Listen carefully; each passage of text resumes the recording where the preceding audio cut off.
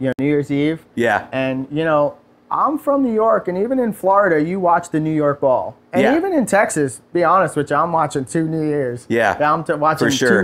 two balls drop more or less. Yeah.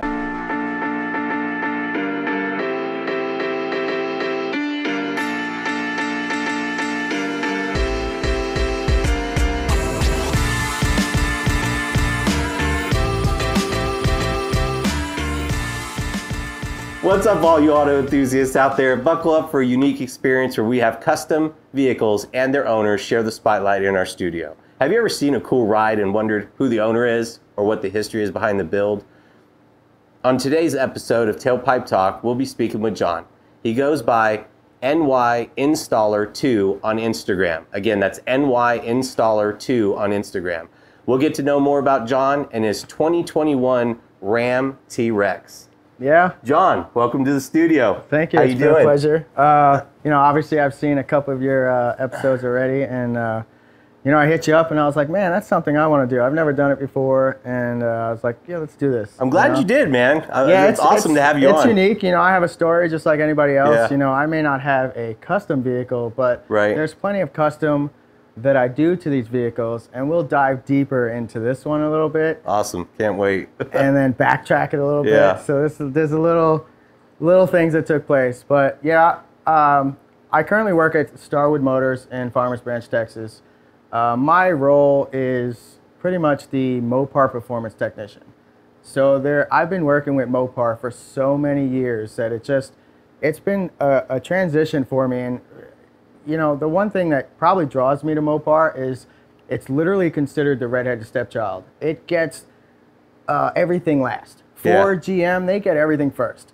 And the funny part is, is that sometimes when we upgrade these things, they're getting Ford and GM parts, and that's okay. You know, I, I I'm very uh, I love the the big three. I love you know everything American. Yeah. So you know naturally I'm you know gonna persuade to an American car. Sure, sure. So, but yeah, this uh, this T-Rex, it's uh, brand new. It's got 2,500 miles on it. Um, you know, we'll dive into it. You Yeah. know, I don't want to give it away too early. Well, before we get into T Rex, tell us a little bit about yourself. So, like I said, I've been doing this Mopar thing forever. Yeah. You know, it is, uh, it is got me on TV, uh, and it's not just the Mopar thing that's got me on TV. One of my biggest uh, things I would say about me is my electrical skills, and everything that I have is self-taught. You know, which you Very can't cool. find a lot. You- Yeah. You, really can't. You can't say, oh yeah, well I went to high school, I went to college, or or whatever. I went to trade school. Yeah, Well, unfortunately, there's nothing wrong with any of that yeah, but I didn't do any of it. You know, and uh, I taught myself like I, I found a, a problem and I wanted to find the solution. right. So when I first started out, there was no real Google. Internet was dial up. You know, Right. you couldn't. There was no. You can't just. You don't know smart smartphones. I mean, I remember like Nokia phones and Yeah. Motorola flip phones. Yeah, you're not getting the information off that. So you had to figure it out. Right. And there was some internet. I remember a website called like the 12 volt something. It might have been that's it. It might Okay, have just been the yeah. 12 volt. And uh, I I don't exactly remember what got me into it, but I think I wanted to like wire some lights or something. Yeah. Or I wanted something to flash when something else came off. And Gotcha, I, I don't gotcha. really know, but. Yeah. My biggest thing is the electrical, um, and that I believe is what actually landed me on TV. Uh, besides the Mopar stuff, you know, Gotcha. I've always been in the car scene, and I've been working since I've probably 14, Yeah, and I'm I'm almost 39 now. So, and I've been hitting the grind since, you know, like nonstop. Yeah. And uh, it's cool. Like I love working on Mopars. It's something that I gravitated to, and it's not just the mechanical or the electrical. Uh, the diagnostic systems in the cars really, you know, they're some of the best diagnostics in any car. Period is in a Mopar, or it derived from Mercedes. So, I think those guys know what they're doing. yeah, ab- absolutely. Yes, they do. Yes, Yeah. they do. So yeah, I mean, I live here. I've only lived in Texas. Uh, we're coming up on four years. I lived here. I moved here September or August 2017. So we're 21. Um, coming up on four years. I came here for TV, and I liked Texas so much that I stayed. Yeah, You know, I literally sold my house in Florida just recently, actually yeah, and I stayed here. And it's been some of the stuff I've seen here, I've never seen anywhere else. And I've lived in New York. I was born in New York. I lived there until 2004. And then I went from New York to uh, South Florida uh, in 2004. And then from 04 to I think 16, I moved to Central Florida. And then I was barely in Central Florida. Yeah.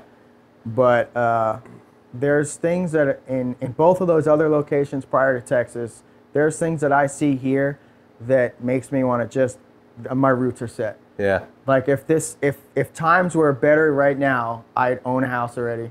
You know, just unfortunately with the housing market as it is, it is crazy. It's, it's yeah, even rentals is crazy. Yeah. I mean, I I was lucky enough to get the house that I have right now as a rental, but um, I want to buy. Like renting sucks. Yeah. yeah. Like Yeah. I, you know, I, I there's so many reasons why I hate renting, but just the money money alone. So, Yeah.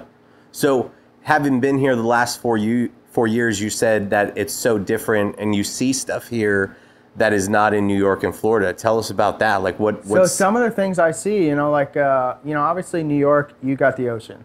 You know, there's no replacement for the ocean. It's Right. just is what it is. I love it. I miss it all the time. Uh, Florida, same deal. You got Right. the ocean. But some of the things I like here in Texas is local facilities like um, uh, truck yard. You know, truck Okay, yard's yeah, yeah. pretty badass Yeah. place. You bring your dogs if you want. Yep. I got two dogs at home. Well, currently I have five dogs at home, but my two dogs at home, I I think that uh, they will come with me, and they're Sure. pretty awesome. yeah. Um, but truck yard, you got um, Legacy Hall. Yeah. Legacy Hall's That- another one. that's one. amazing, right? That's that is like the first time. First time I went there, I was like, wow, like this is awesome. yeah. You know, now it's a little different because of the whole pandemic stuff, and you know they actually charge you to see some of the concerts, Right, some of the concerts. right. But just that whole venue and, and it at it in itself, Yeah. I'm like, man, I've never experienced this before. Yeah. Well, that's where you go on a date night because you walk in like, babe, what do you want yeah, to eat? what do you wanna eat? There, Pick. anything you want. It's in Legacy Hall. So Damn, I, yeah. Well, truck yard's pretty cool too because Yep. it's the same deal. It's like, yeah, you have your steak facility and alcohol and bars and, Right. and whatnot, and then you have like three or four trucks to Right, choose from. right. And hey, if you're with somebody who can't find something to eat there, I, I got nothing to say. Like that's it. Like I can't do nothing about My it. My wife you and? I frequent both those places. They're Yeah, they're, great both- places. So stuff yeah. like that, or even like in Austin, floating the river. sure. Yeah. Never done that before in my life, and uh, Super cool. I went down there and it wasn't the Guadalupe, I think uh, San Marcos. Okay. I went to the San Marcos and I had an amazing time. Yeah. And just stuff like that has got me here and I'm done. Like I don't even want to go anywhere else. Yeah. Like the opportunity would have to be amazing to go somewhere else. And it's and it's so crazy too because I've been out here since 2004, right? And coming from California, very touristy. Like Yeah. there's tons I- of stuff. I, would have to say I've never even really been to California. yeah. So you got the Fisherman's Wharf, the Golden Gate Bridge, Alcott. You know, it's touristy. I Sure, mean, it's sure. you know. Well, that's you, Florida. That's Orlando. Yeah. Where I came from. So you come here. There's no. There's no, no, you got tourists, but there's no tourist locations. Really. Nothing, nothing. I mean, and I've said this before, and I think we the only place that is historical in Dallas that's really historical. the- I'm the not talking thing? exactly, Yeah. exactly. I'm not talking about monuments and you know buildings and stuff, but people go there to Yeah. see that X in the street Yeah, and I, see I where he got just shot. there, like, you know, like two weeks ago. I was just driving by. that's Dallas's tourist attraction. That's it. Oh my god! Like yeah, there's the grassy knoll. You know, it's Yeah, like I mean, know, but for real, think about anything else. I Yeah, can't the think of book anything. depository You know the the oh, what is the name of the um, the, building ball, with the, the big globe? ball. What is the yeah, name I don't of it? know I'm- what it's called. Reunion Tower. Reunion that's Tower, it. Yeah. Okay. Thank It's you, pretty- Alex. it's it's pretty cool. Like uh, like the first year I was here, and it was uh, you know New Year's Eve, yeah. and you know I'm from New York, and even in Florida, you watch the New York Ball, and Yeah. even in Texas, be honest you, I'm watching two New Years. Yeah, I'm watching sure. two balls drop more or less. Yeah. Uh, but yeah, so we, we can take that out of context, right? so yeah, I mean, it's really weird seeing, you know, that's the the whole thing. And I think the first year they did an insane fireworks show. Yeah. You know, on Yeah. so I watched it twice. I Yeah. watched the New York ball drop and then I watched the uh, this uh, what Reunion, Reunion Tower, Tower, yeah. go crazy and all the fireworks. And I was like, man, it's different. but it's still good. Like it's it's it's a good difference. Yeah. You know, and I'm sure there's uh, different states, different areas have their own thing. Uh, I haven't been too many places here in Texas. Uh, I'm trying to. I've been to Lubbock, Texas. I've been to Austin, Houston. Uh, I've been to uh, you know a couple of things with the TV shows have really taken me all over. Yeah. In fact, before TV, I was never west of anything on the East Coast. Oh. like I literally traveled from New York to Florida a couple Yeah. times, and I uh, I think uh, little inwards on like Virginia and stuff was like Yeah. my furthest west ever. And now I've been I've been to California. I've been to the southern area, uh, Johnson Valley, California, but I've never been.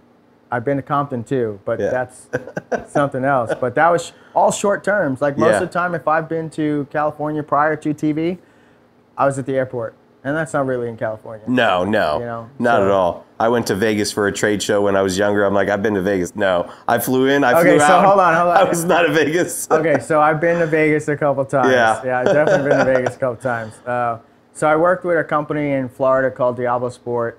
Uh, we designed gasoline and diesel tuning systems. Oh yeah, And I'm, now I'm familiar with that. Diablo Sport is not what it used to be. Gotcha. You know, nowadays that it's it's owned by Holley Corporation, and that's not the problem. Uh, they merged us with Powerteq, which Powerteq is um, uh, Edge and Superchips. And Oh, once that gotcha. happened, things fell off real fast. Yeah. fast. And it's essentially it's just getting worse at this point. And it's it sucks because we used to have a facility in Delray Beach, Florida, and it was more or less a closed facility. People didn't just walk up; you couldn't. It was Right. closed, locked down. right. Uh, the only thing that was open was the garage door, and that's because for people smoking. Sure. But you know, the things that we accomplished in a short group of people in tight quarters, more or less, Yeah. was crazy. And now it's just like, yeah, now it's nothing to talk about, and that's a shame. Yeah. You That's unfortunate. It is unfortunate, but working at Diablo Sport, I was part of the crew that developed the PCM unlocking process for the 2015 and up Chryslers. Um, anything 2015 and up actually requires you to open the computer, and now it's my side gig. I mean, literally, like I do PCMs every week. I couldn't even tell you. It's like sometimes with the pandemic, it's actually increased. Like my Yeah. year so far is is shot up.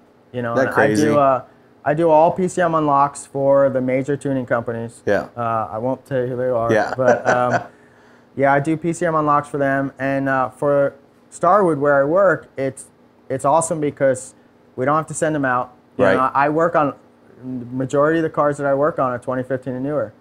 So That's cool. Every single one of them needs an unlock. Yeah. And I'm like, okay, cool. Like it's, you know, I keep it separate. You Right. know, like I get paid to do the wrenching on the car Yeah. at Starwood, but the PCM unlock is completely a separate entity, and Yeah. I basically do one, submit a a uh, invoice to them, and they pay me. You know, and it's, Oh, it's completely cool. separate. It's pretty That's cool. cool. Yeah. And Starwood, I I've I think I've been over their location some time ago. Um, but they, they sell some pretty high end vehicles, Yeah, right? so Custom they, stuff they as well. They do sell custom vehicles, Yeah. but they also, I mean, the uh, the I, I think the the the main owners are. It's kind of like their hobby thing. Gotcha. So it's like um, that's it's a hobby, but it's also a shop. Gotcha. And it's pretty crazy because you know we got some Ferraris in there. Yeah. We we uh, they had like Teslas in there and stuff like that, and it's it. And then you know I would say Starwood ha- is known mostly for the Jeep stuff they do, Yeah. Yeah. but um, it's pretty cool. I mean. Uh, it's the first place that I've worked at that I talk to everybody without even trying yeah. you know, some of the places, TV shows and stuff like that, somewhat of an outcast. Right. And it sucks, but it is what it is. Yeah. You know, now, get I, away s- from it. now I saw the shirt. It's Starwood Starwood Speed Shop, right? so, did they change their name, or is that just a, a division the, of this? that's the division of Okay. Starwood Motors. okay, gotcha. Excuse me. So Starwood Motors is a company. Starwood Speed Shop is basically my division, uh, where Cool. I concentrate on Mopar. Yeah. You know, I do other awesome. things, um, but my my forte is definitely Mopar. Yeah. So that's what I do. I mean, every day I'm either making Hellcats fast or Hellcats faster. Yeah, I mean, that's cool. Or like right now, I'm doing a uh, uh, Magnuson supercharger on a 392 Dodge Charger. Nice. You know, nice. and I, I do that stuff all the time. You Yeah. know, some of it's repetitive, some of it's you know, it's like, oh, okay, this thing is fast, cool, next. yeah. but then uh, then there's um, one car I did recently for a YouTuber. Her name is her YouTube name is the Real Nova 797, yeah. and uh, she has uh, a um, I think it's 20 or 21 um, Dodge Charger Red Eye. Yeah. So those things are fast already. Right. Right. But now we're pumping out. I, I don't want to give away our numbers, but Yeah. we're pumping out some massive boost. yeah. And that car was the first car in a long time that put a smile on my face. That's cool, man. Like you know, That's and I was like, man, this thing is awesome, and it's E85. It's yeah. because the cars start off pretty good. It Yeah. doesn't take a lot to get there. But man, that car was the first car in a long time. I was like, yeah, I need to build more of these. That'd be cool. You know, I was like, yeah, and I do. I mean, I have uh, I have red eyes with Magnusons on them. Yeah. You know, and stuff like that. So let me ask you a question. People can come to you through Starwood Motors, Well, I'm- Starwood, or are you a separate entity that can take on customer vehicles? Well, How does that work? So Starwood Motors is a shop. It's a legit shop. So Okay. when you want me to work on your car, the uh, you go through the shop. You know, it's like uh, Interesting. it's, Okay. It's like a it's it's partly a dealership, but it's also you know custom work. Okay. We do a lot of custom Jeeps stuff like that. We did like uh, well not we. I wasn't part of the team. I did help on it, but uh, they did like this uh, Toyota Prius uh, hunting vehicle. Okay. It's completely crazy. Yeah. But the reason they did that is because a Prius makes no noise. yeah. It drives. It was a hybrid, not a complete, you know, uh, Right. electric vehicle, Right. but it makes basically no noise. It lasts forever because the gas motor is like a 1.6 or 1.8. Yeah, no, that's super- smart. Super, That's small. smart. And Absolutely. they're super quiet. Yeah. And because when you're creeping, I'm pretty sure unless the battery's low, it's all electric. Yeah. And so they built that car, and uh, uh, Starwood also has their own bedliner style material. It, uh, I don't know full logistics of it, Mm-hmm. but it's like uh, it's got like aluminum oxide stuff like that in it. And normal bedliner material, like even if I pop my my uh, my tailgate and I take a key, I could scratch my bedliner. Yeah. Well, they're doing full paint jobs with this material, and you can't scratch it for nothing. No kidding. Like wow. you can't scratch it. You, uh, it's it, it's available in any color you can think of. Yeah. So it's uh, like I can literally take the T Rex here, and it'll. It's not a fine finish. It's definitely like Rough, yeah, It's rough, course, but yeah. that's a bed liner material. Right, But there's sure. different ways to do it yeah. as well. Like the the owner has like a F two fifty, I believe, and it's all white, just like the car was originally. I think it was originally, but it, it feels totally different. You know, Interesting. it's it's not as as coarse as like a bedliner Yeah. material would be, but honestly, it's it's a process that's just like painting a car.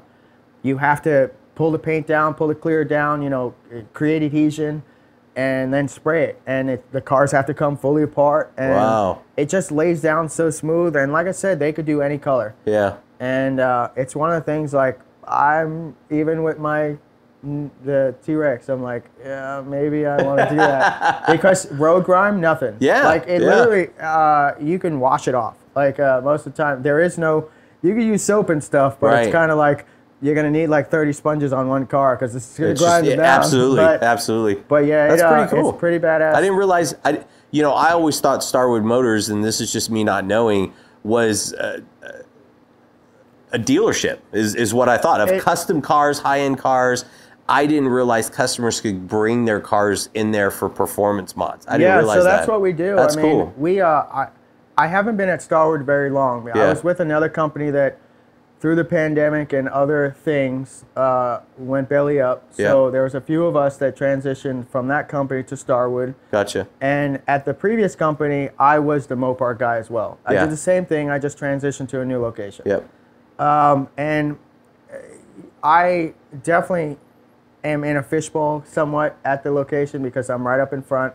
Right. I have two lifts, whereas most everybody have to kind of share lifts. Uh, we're changing that. We're going to do some remodeling and stuff like that. But uh, yeah, it's uh, it's a fun ride. But at the same time, it's right now, especially in Texas, it's super hot. So I lose like 10 pounds every day. I don't know how you all do that stuff in the shop. yeah, man. it's That's tough. tough. Like I have a little, it, uh, I have a little portable AC that I can stand in front of every once in a while when I'm yeah. when I'm just absolutely overheating. but uh, it's just a lot of water. I mean, you're even though you're drinking gallons of water per day, Yeah. you're still pissing brown. I mean, you're still you're, you're still dehydrated and um, but you know the Texas stuff. I've been here almost four years. I've been through the heat. It's not that bad. Yeah. I mean, it's a dry heat compared to the East Coast where sure. it's very humid. Humid. Yeah. So yeah, that's what brings me to Texas. I mean, and you know, I actually came to Texas for TV, Very and cool. TV lasted a couple years, and Yeah. then I liked it, so I just picked on a regular job. You Yeah. know, and I started off. I actually started off after TV ended. I started off at a, a local Dodge dealership in Love Field. Uh, right now, it's called Uptown Dodge. Uh, before it was Metroplex, Okay. um, DFW Metroplex. yeah. um, pretty cool. I mean, I, I, I won't say I outperformed most of the techs, but I definitely outperformed, unfortunately. You Yeah. Know, but that, that comes with all I've learned. Sure. You know, oh yeah, uh, throughout absolutely. the years, all the things a I've lot of experience. Uh, but I really didn't like Fiats, so I was Yeah. like, I need to get out of here. Fiats, like, I was like, no, like these things are thrown together with bubble gum. Yeah. No, I'm out. I'm out. Fiats are thrown together with bubble uh, gum. yeah, and, and it was just like, uh, no, yeah. I was, I was like, I can't do this. Yeah. I can't do this anymore. So when you uh, when you started on the TV show, how did you know about the TV show when you were in Florida? Okay, so How did that how did so that the way transition? it happened was uh, back in I believe 2015, Gas Monkey Garage was doing a Hellcat motor. Now remember, 2015 is when the Hellcat motor first came, first Correct, came out. correct. In fact, the Hellcat motor that Gas Monkey Garage used was in a non-production vehicle. So it was a vehicle that didn't even technically have a VIN. It was an engineering vehicle. Gotcha. So essentially, what they did was they took that motor out and put it in a uh, 67 Dodge Dart. Gotcha. So they had they couldn't get it running. yeah. So um, they had another tuning another company come out there and they exhausted efforts. And at the time, Holley had owned us, uh, Diablo Sport. So Holley owned Diablo Sport, so they naturally contacted Holley and was like, "Hey, will your Dominator work to run this car? Because TV doesn't wait for nobody." Right. Oh, yeah. It, the crazy part about, about Gas Monkey Garage, and I've learned later on, is that the cars are actually built in four weeks or actually built in eight weeks, Yeah. and that's it. That's all Yeah. you get. Uh, you might have some time to finish finish up some loose ends, but as far as the TV schedule is Sure. concerned, you're pedal to the metal and building those cars. So anyway, they uh, they contacted Holley looking for a Dominator uh, standalone ECU setup because they could not get that thing to run on a factory ECU. Yeah. And no one, it, it just the car just came out. Right. It wasn't even available. Right. Nothing was available. Yeah. Um, in fact, they completely did craziness and ran on E85 and uh, return system pump and all this other crazy, fuel cell, the whole nine yards, and they couldn't get it running. Yeah. So they called Holley. Well, Holley says, "Nah, we don't have nothing, but we uh, we kind of own this tuning company, and Mopar is their thing. So let's uh, let's get them involved." So they did. They got me and one of the tuner uh, at the time um, to talk to them, try to figure out a game plan. And I remember a phone call before we actually came here. Me uh, and a, me, the marketing guy, and uh, the tuner were on a phone call, and it was phone call that we weren't really supposed to be involved in, but we were so we were mute the whole time, like Yeah. we didn't say nothing, Right. except amongst each other. And uh, it was basically like a whole a whole lot of circle jerk and stuff going on Yeah. with Mopar, and they were like, "Oh, send the car to us, and we'll get it running," kind of deal Right. and they didn't have that time. So they called us out. After that phone call, we were on a flight the next morning, and uh, we got there. We got there early, like nine o'clock. The guys were already hard at work. You know, at the time, things were bad at Gas Monkey, so guys were already had it hard at work, and um, yeah, we got there and we just rolled in, and that's the first time. Mm, yeah, that was the first time I was on TV. Gotcha. I think. Um, but you know, like we walked in and they were like, no, no, no, no, walk back out. We got to mic you up. We got to start all over. uh, so it was a big deal, and it was full production. And something about it, like I was with my coworker. Uh, we aren't friends anymore, um, but I was with my coworker, and he like clammed up in front of the camera.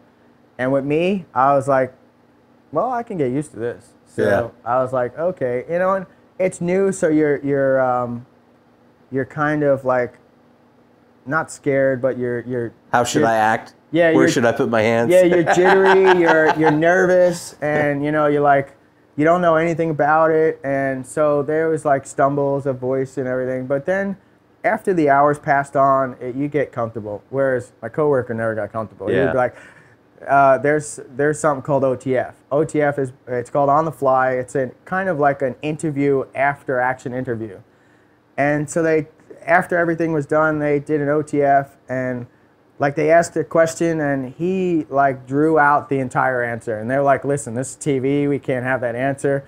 And I took everything he said and I condensed it into like one sentence. And I remember the producer being like, damn, like, how'd that work? like, where'd that come from? He was like, shit.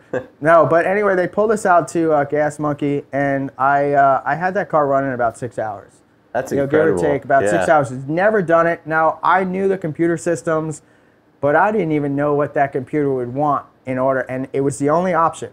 It was factory ECU or that car is not going down the track. Right, right. And what it was was they were uh, going after uh, roadkill guys. So there was a whole roadkill Right. I remember event. watching that episode. Yeah, a whole Yeah. roadkill event, and we actually uh, were going to the Silver Dome, and uh, that was where the race was going to take place. Yeah. And uh, so they figured that out, and, or I figured that out, got them running, and uh, the tuner tuned the car, and with the 85 and all that stuff, I'm pretty sure it was the 85. It's been a long time. Yeah.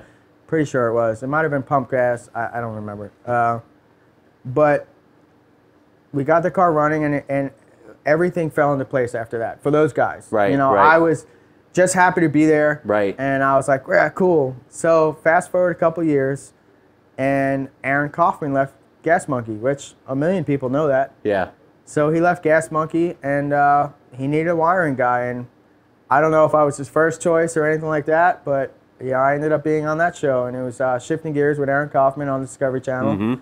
Uh, that was a tough time. You Was know, it? Yeah. 100%. It was a Yeah. tough time. Um, I would say that me and my other cast members, you know, Josh Freeman, Mhm. he uh, he's a guy that I still regularly talk to, or ha- it's been a while, but I still talk to him.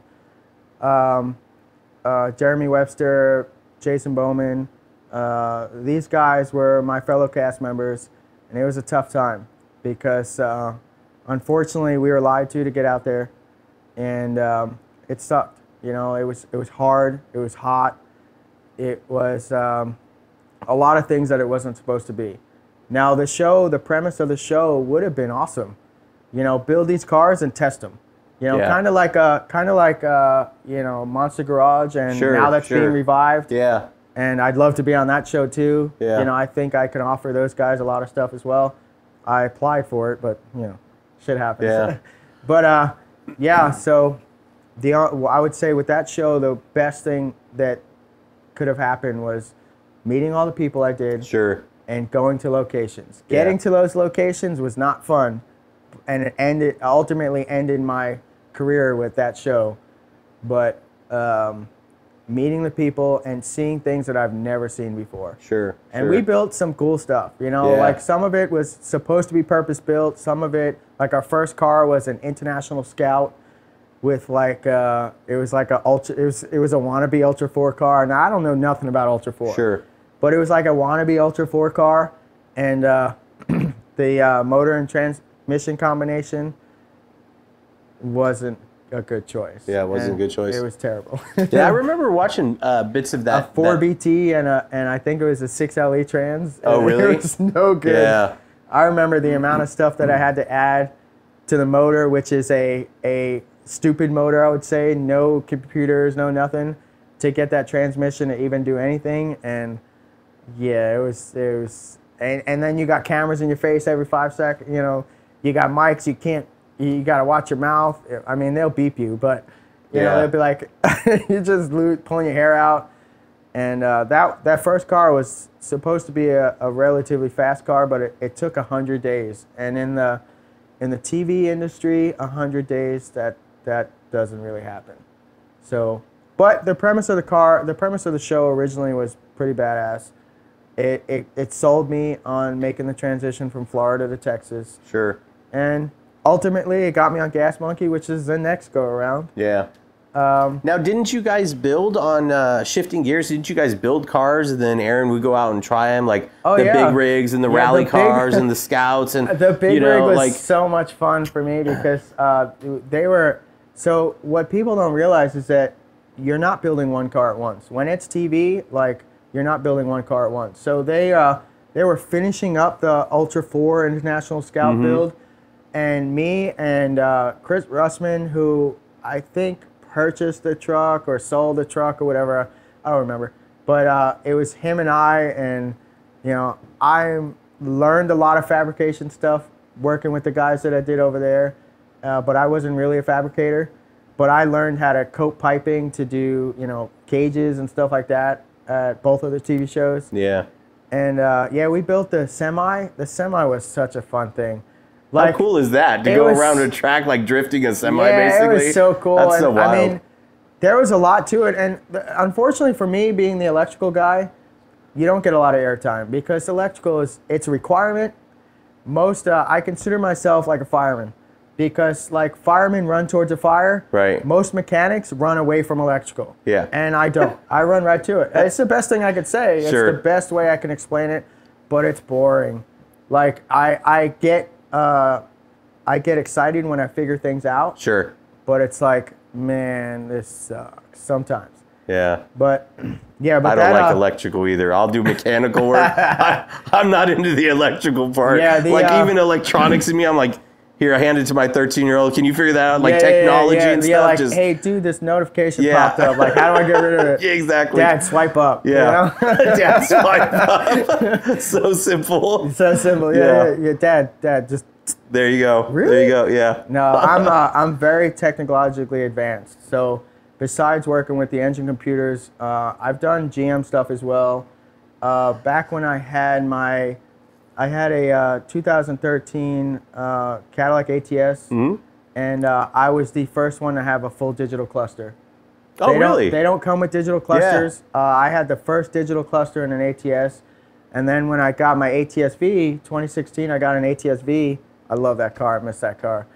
Um, but I again had a full digital cluster. One of the first people. I, I think I was the first person to do it, and excuse me. And um, yeah, I I mean both of those cars and those cars were both tuned and. You know, we tested limits on them a couple Yeah, I'm times. sure. you know. The ATS-V was so much fun, though.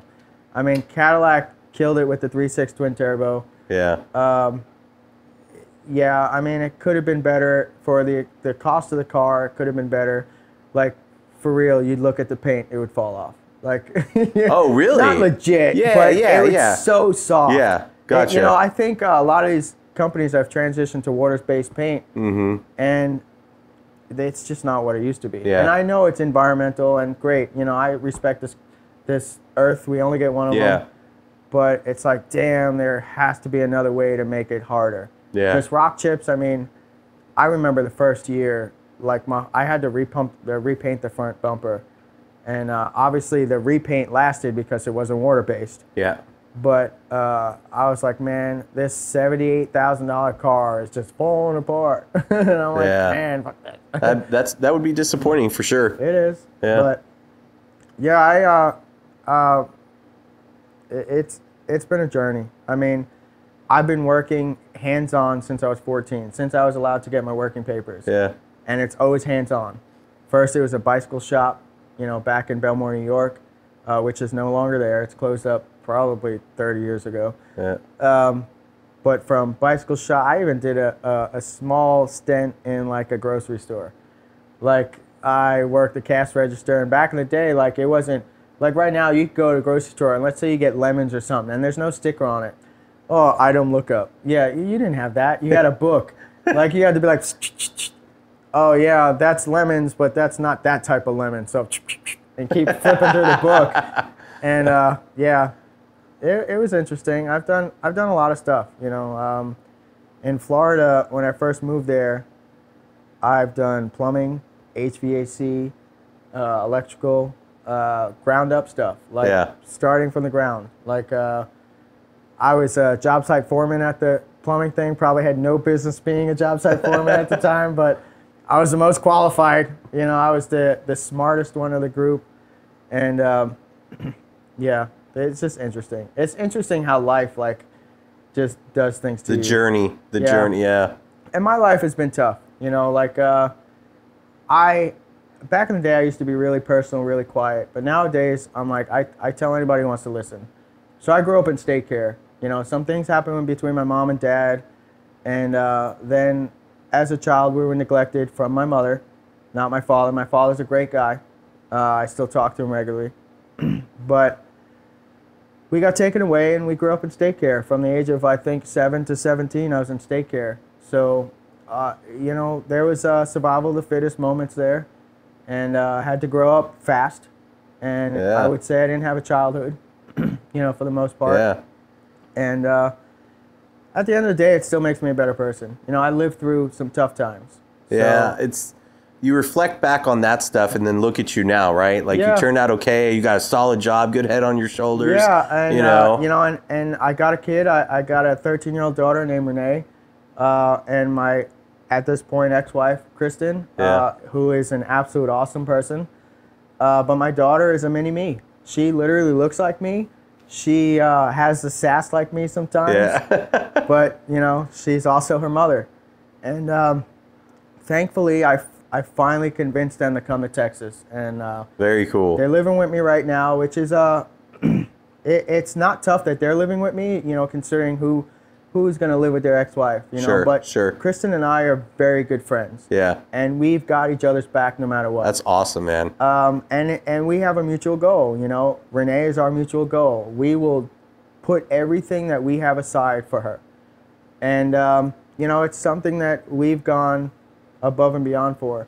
And like I said, they're sleeping. They're uh, living at my house right now, and uh, with everything with the uh, the housing market, it's making it tough to Yeah. find rentals. Like No you're in the doubt. housing market, so I am. you know. Yeah, no, you real put a property crazy. up in 72 hours, it's gone. gone. It's yeah, gone. it's It's- tough. it and the caveat on it is most rental people don't want dogs or they don't want um, uh, multiple dogs. So Yeah. there's there's five dogs in my house right now. I've got my own two. Oh my gosh, And yeah. I so I have five dogs. Yeah. And granted, the the three dogs that came with her, uh, English bulldog, great dog, kind of dumb, love her to death.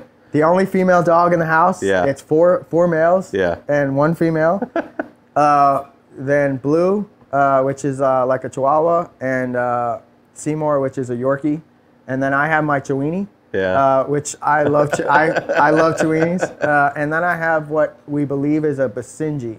So it's like a Chihuahua, Uh-huh. and I don't know what a Basenji is. I don't know either. I've never heard of one that. ever I've before, never heard of that. But that dog is the coolest dog I've ever. Not okay. Let me back up. I had one dog in my life that is non-replaceable. yeah. Wiggles, which was an English bulldog. Uh, sorry, Wrinkles, which was an English bulldog. My new dog is Wiggles, and he uh, That's cool. He is one of the coolest dogs I've ever had. And then, you know, unfortunately, I had a fourth dog in Florida who passed away, but uh, he was he was he was second. Wiggles is third. Yeah. Uh, his name was Buster, and he showed up at my doorstep. No Like, kidding. Yeah, Yeah. he showed up. So I'm I, back to when I didn't have a lift and stuff. You know, everybody else jack stands and working on your back. Yeah. I was working on a. Uh, I was doing an engine swap on a Dodge Magnum, and I had done that too because I had one as well. I had an 06 Magnum, a car that I absolutely love. Yeah. I love the Magnum. I hate that they got rid of it, but um, I was doing an engine swap from like a 2.7 liter to a 3.5, I believe, at that time. Yeah. And I was just finishing stuff up, and I I had the car up on jack stands, and uh, about an hour earlier, there was this guy who had this dog, and we didn't know anything about him. No leash, no collar, no. Oh, well, he had a leash on, but it was like a lead, not. Yeah. You know, if you know a lead, it's just a piece of rope with Right, a- with a right. hoop in it. Um, he was walking around the neighborhood, and he was like, "Hey, is this your dog?" And we're like, "No, that's not my dog." And I was like, mm, "Okay." Um, and then, I guess the dude let him go, which was pretty shitty on his part. you Wow. know? Yeah. He let him go, and then I guess the dog kind of liked where, like, liked me. so I'm working on my back, and uh, he's uh, he craw- like Magnum, long car, lo- almost as long as this thing, and uh, he crawled from the back all the way to the front because I'm working on the engine area, yeah. and uh, started licking my face, and I'm like, all right, cool. Like, uh, Got see, the yourself a thing dog. is, well, no, it- that wasn't the intention. Yeah. We, uh, the thing is, is that I lived on Commercial Boulevard, which is a huge, uh, I think it's three lanes on each side highway, and Right. it's like, it's no matter what time it is, it's busy. oh, gotcha. Yeah, yeah. And uh, literally right around my corner is Commercial Boulevard, and I'm almost on the corner, so it wasn't very far. yeah. I was like, yeah, there's no way I'm going to let this dog keep running around. I'm going to keep it in my backyard because I had dogs. So I wasn't going to, I don't know nothing about this dog. So I don't know if it's got, excuse me, if it's got its shots or anything like Right. that. But uh, so we kept them in the backyard. And uh, Kristen has always been a vet technician. She's good at her job. Yeah. She's very dedicated to her job. And uh, luckily, there's no shortage of vets. So Yeah. right now, she's got what she says is a really nice job here um, as same thing vet technician, and she really likes it. You know, she's uh, transitioning very well, I think. You know, and uh, for the for what we talk, how we talk, you know, and, and when we talk, I'm always working, so the talks are few and far between sometimes. Yeah. But uh, so this dog came up, and eventually we she took him took him to work, and we checked him for a microchip, and then we checked him and kind of like checked him for worms and all that typical Sure, stuff. sure. It was a young dog. Yeah. It was like a pit bull mix. Uh, we don't really know what kind of dog it was, but yeah, we um, we after we checked him out, whatever, we brought him inside and he never left. And then uh, eventually, um, you know, un- unfortunately, again, one of the best dogs I had, his heart was bigger than the chest cavity that he had, and it essentially he suffocated. And it was sad. And uh, I had, uh, I have, I, I believe in security cameras more than I believe in security systems. Yeah. Because usually what will happen with security cameras is um, you can get a text message saying, hey, I am triggered, and you'll get a picture. And the picture will say, oh, there's nothing there, or the picture will say, oh, some dude's in my house. Right. A police officer, I feel, in my opinion, is going to be more inclined to rush over than if they are from some monitoring company saying, hey, Right, uh, we got, right. a mon- we got a, a, uh, an alarm triggered at so-and-so house Sure. if I call 911 and be like, hey, I've got a person in my house right now, uh, you know, they're going to be more inclined because it, it tells them, hey, something's actually going Right. on. Right. right. So in my house in Florida, I had cameras inside as well. Now they're not cameras like I'm not creepy, so it wasn't it wasn't cameras. It was cameras facing doors. Sure, you know, sure. But cameras these days are wide angle. Yeah. So it could see a lot of stuff. So the whole ordeal of him coming to his conclusion was all caught on camera. And I was able to see it, and I actually still have the video, and it's tough to watch. And, uh, you know, my daughter, she lost her crap. She lost her shit.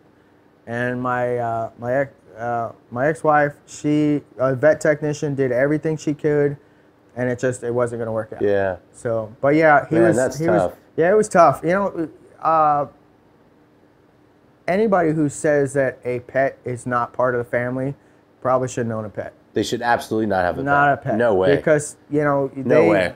they become they become your love. You know, yeah. they become oh, part of absolutely. the family. So, Absolutely.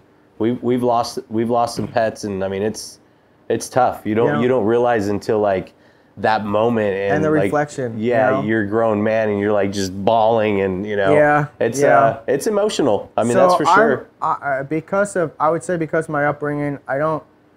I'm not gonna say I don't cry, but you know, like losses like that, I've never really cried, and but it's still it's like you, you're at a loss of words. Yeah. You know, I I've never, even for like family members, I don't, I've never cried, and it's not like I can't cry or anything. It's just I never did. Um, but it it was it was a, a hard situation, and I, I'm in Texas. There's nothing I can do Yeah.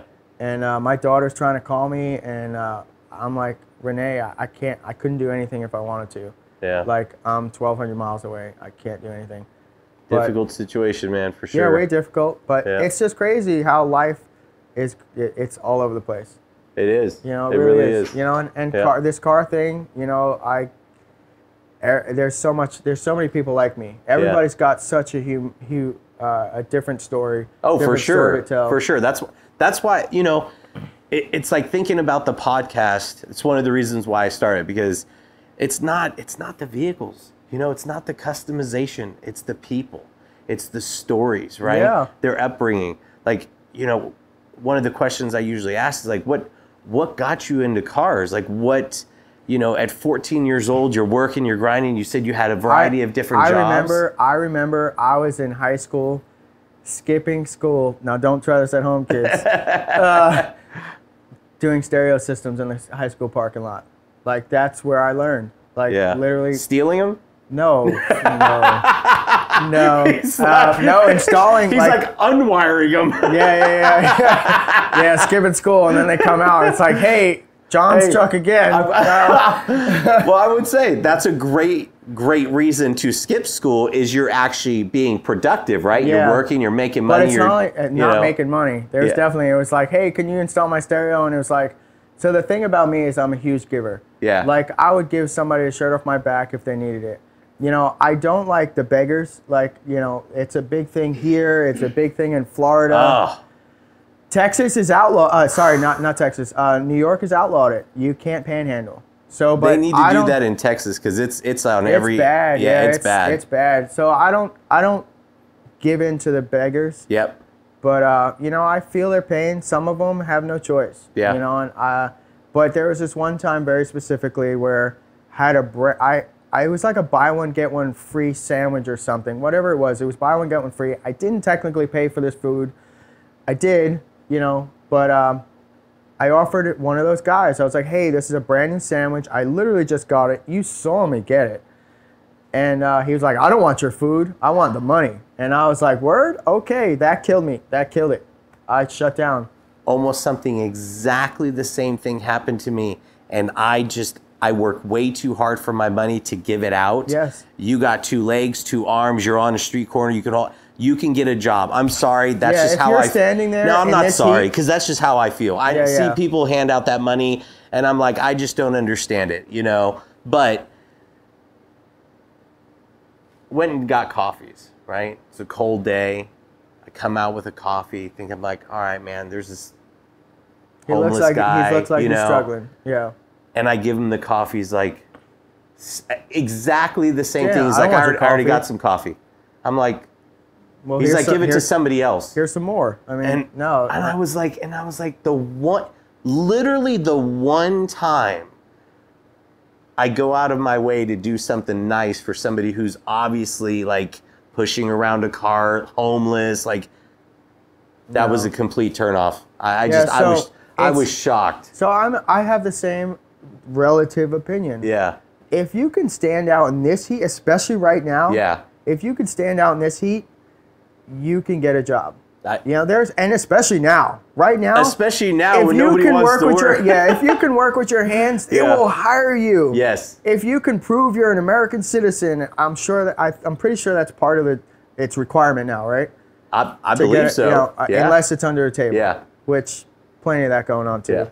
Um, but you know, if you can stand outside in this heat, like today, I mean, we're uh, I, I won't give a time, but it's it's nighttime and we're 88 degrees Yeah. still. Yeah. And they're still out here. Right. You know, they're basically out there until I guess the cop, like towards the dark, they get chased away because it becomes a hazard at that Yeah. point. But if you could do that, and here's the trip. You know, the biggest trip is some of those dudes make more money at some points in my life than I do. And I'm like, and, that's why they keep standing out there. And that's it. That's They it. just people enable that It- stuff. yeah, and it's, it's, like it's it's just like you know. it's just like if you're an addict and you have an enabler, you're never gonna change. yeah. Yeah, so it's the same concept. You know, it could be it could be pushed on to so many different things. Yeah. You know, not just panhandling or using drugs and being addicted. It could be if you're enabling, that's an enabler. Unfortunately, the people who are giving that money, they probably don't even know that they're enabling it. Yeah. It's just like, oh well, yeah. Uh, let me feel good about myself today, and I'm gonna Yeah. give this guy five bucks. right. You know, Is it really for them or is it If for you? I, you that's the problem. That's what Yeah. I think it is. You know, it's like, oh, I, my good deed was done today. You know, um, but yeah, I offered that one person a brand new sandwich. Yeah. He saw me get it. He knows it's fresh, and he said, "I don't want your food. I want your money." And I'm like, "Okay." Roll the window down. I'm like, "Yo, I'm gonna enjoy this. See ya." You know, and that that threw me off. And um, yeah, New York, it's been outlawed for a long time. Yeah, that's awesome. And uh, see, New York, a lot of people got caught. So they got caught where they'd be driving, BM, driving BMWs and Mercedes, and Yeah. then they put on some junk clothes and then go do it, and then they're they're making 100k a year, and that's possible here too. Dang, that's You know, crazy. think about it. Yeah. Think about it. Uh, every light is roughly four or five minutes long. Uh, well, no, let's say two minutes long. Right. In two minutes, they can make 10 minutes, $10 every two minutes or more, depending on the location. Because just like in realty, location, location, true. It's, it's important. I never thought about it like per Per per, minute or per light or Yeah, never so thought they, about that. they but can yeah, make two minutes. that's wild. $10 every two minutes, give or take. Yeah. Because uh, an average light, unless it's a, a bad light, which there's plenty of them, um, when those when those lights are red and they're you know hanging out there, you know they're more than a couple minutes long. Sure. So if you make, uh, I don't know, thirty dollars in an hour, that's a lot of money. There's people who do not make that. Right. Oh no, absolutely. For it. Absolutely. You know, Yeah. it's so easy for him to do it, and that's I think uh, you know Greg Abbott, our um, you know governor or right governor Mhm. Yep. Yep. of Texas, he's doing a great job. I think you know he's uh, Texas and even Florida has done very good in the uh, opening things back up. Right, and, right. And, you know, Oh, I people, agree. People I need to agree. work. Yeah. You know, it's it's unfortunate. It's part of life. Yep. You, uh, I need to work. I mean, I, I, I, I couldn't survive. I couldn't have. I need to work. I couldn't have my truck if I didn't work. You know, I couldn't do it. So Yeah. I think it's something that should be on his radar. Yeah. You know, if I could if I could say to him, "Hey, dude, like work on that." Hey, Yeah. Greg Abbott, governor of Texas, work on that. Yeah. Please do. Like it would help so many people. Yeah, I, we see we see it probably daily, all, all around Plano It's- it's area. I mean, it's it's it's a lot off the It's off the every, highways. It's absolutely yeah. everywhere. Yeah. Everywhere I've been. I've been in like Duncanville. Yep. Uh, isn't the jail in Duncanville? or is that Um, uh, no Seaganville? Seagoville, Seagoville. Yep. So yep. actually, I got my Chiweenie from Seagoville during the Yeah. Texas snowstorm. I'm in my at the time Oh, two-wheel really? drive Dodge Ram, driving to Seagoville because I really wanted this dog. oh wow, that's that's. but wild. yeah, um, that was the only time I didn't see people out. yeah, And uh, yeah. Yeah. so that Sunday when it actually snowed. Yeah. Remember it snowed like Saturday into Sunday. Right. On Sunday when the ground was coated. Oh, yeah. And that hasn't happened here in Texas as long as I've been. Yeah. There's been flurries. Sure. But the minute it hits, it, it it's gone. yeah, But uh, Yeah. yeah. that was it was crazy, and I lost power in Lewisville at my house. I lost power for four days. It sucked. Me and my two dogs. It was just me and me and the two dogs. I have a fireplace that's not really a fireplace. Yeah. Like it, it, it creates heat if you're standing on it, yeah. but then it makes so much heat that it just dries you out. But yeah, that that four days was pretty tough. Yeah. Now I'm prepared. I was absolutely unprepared. I don't follow the news, so I didn't even know it was coming. To be honest with Yeah. you, it just kind of happened. Or the people that I work with were like, uh, "Yeah, it's gonna happen," and I'm like, "Shit." But see, in Texas, it could it, they could say it happens and then it changes. It's like one minute it's storming, the next minute it's sunny. Like Texas is strange with well, the weather. that's like Florida. Yeah. Florida's like it's 90 degrees out and perfectly sunny, but it's also pouring down rain. but it do, it only lasts for like 10 minutes. So Yeah. it's like, oh, okay, so that's the afternoon storm. Give it like 10 minutes after it stops, and you won't even know it came. Yeah. So yeah, it's pretty pretty crazy. Weather in both of these states have been pretty crazy. Uh, I actually like Florida is is not a, a multi-season state. There is a lot of there's different seasons obviously, but it's relatively close to the same season. You know, like Florida's cold is like uh, two weeks of 30 degrees. yeah. Whereas my first year here in Texas, uh, it was like 18 degrees. And I'm like, okay. But I'm from New York. So literally 2004, when I left New York, was one of the coldest years that I ever remember in my entire life. Yeah. And it was so cold. And I was like, you know, you, you drive from on I 95, you drive from New York to, uh, to Florida, and you hit uh, finally uh, by south of the border Yeah. you hit south of the border and where all the fireworks stations are and everything, firework places. And finally, that's like the second time we got out of the car, and it was like, the heat finally started, and that got me hooked. Like I was like, screw this cold, and I, love New York. I miss New York. I don't miss the taxes and all that other stuff, Yeah. but I miss the food of New York, and um, my all of my family's there. Uh, Kristen, my ex-wife, she uh, most she has family there, but you know her mother and father are now no longer with us. So most of her immediate family is gone, but uh, she still has like an uncle and stuff, uh, aunt and uncle there who they talk to, and, and cousins and stuff. But all of my family's there. Like uh, I still got a grandfather who um, not doing so well right now, but I still have a grandfather there. My father's there. My uncle's there. Everybody's still there, and um, you know I'm here.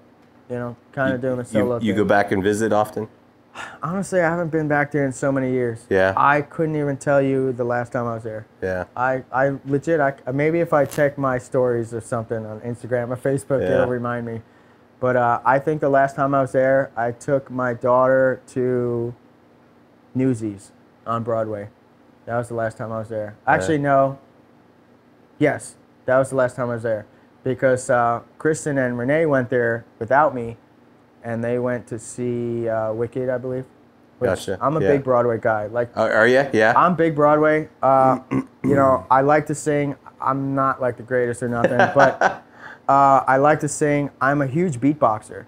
Like, Are you really? Yeah, I got it from my Yeah? uncle. My uncle's pretty badass, and I got it from him. So randomly, like, I'll just start beatboxing. Yeah? Like, or if I'm listening to a song in my in my earphones or something, people like stop and look at me because they'll be like, "Damn, like, where'd that come from?" but it's it's multi uh, like the tones. I can change my my tones. I can uh, if I'm I can hum and beatbox at the same time. It's it's That's pretty cool. I like it. Yeah, That's cool. it um or if uh, I'm listening to a song and I think my beat could be better, Yeah. like I'll create a beat in my head Yeah.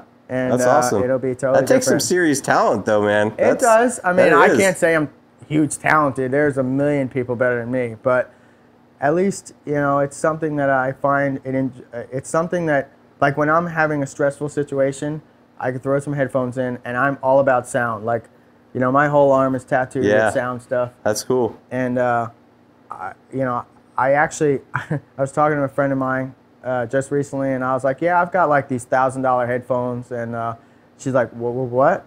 I was like, listen, when I spend money on music stuff, I spend money on music stuff. Yeah. So I've got these thousand dollar headphones and uh, Shure headphones and you know IMEIs, so in-ear monitor headphones, and uh, they're like four apertures, you know, balanced drivers, you know. I Well, mean- see, and then for most people, that's like foreign language, Yeah, right? yeah, yeah. but you understand all that and what it means to the average person. Like, I'm buying some forty dollar earplugs. Yeah, yeah. or even like you know, like like uh, Apple's done. I love Apple products, you know, and I like Apple products because of the synergy. Yeah. You know, like Apple Watch, Apple Phone, uh, AirPods. The synergy Yeah. is what really takes me to Apple. But I don't like the Apple tax, just like nobody does. I mean, Gotcha. who likes Apple Yeah. tax? And it's funny when I plug them stuff in, and uh, or somebody's like, "Hey, can I get your charger?" I'm like, "Hey, you want some apple juice?" Yeah. They're like, "What?" so, yeah, but it's crazy. Like with this, uh, you know, we only get one life, and I try to live it as best as I can Yeah. And I'm I'm a dependable person. You know, I I, I try to do everything I say I'm gonna do. Absolutely. That's And, the only way to and live. the thing about me is like uh, I undervalue myself, um, so I can overvalue the end result. yeah. So like uh, most of the jobs that I've had in my life, I'm like, yeah, I could do that, I could do this, and I could do that. And like my current job, when I met the guys, I was like, yeah, I could do this, I could do that. But you know, talk is cheap, you know. And um, I undervalued, but I over delivered. And Yeah. now it's like fast. I'm becoming one of the Mopar go-to guys in Texas. There's That's other awesome. shops that Yeah. are doing. There's other shops that are doing it. Yeah. And those shops have been in business for a lot longer time. Yeah. But yeah, I don't know. I, I under. I think I understand it better. That's all. That's I mean, cool. I'm not going to talk crap about any shop. I've I've fixed plenty of stuff from some of the other Oh, shops for in the sure. area. For sure.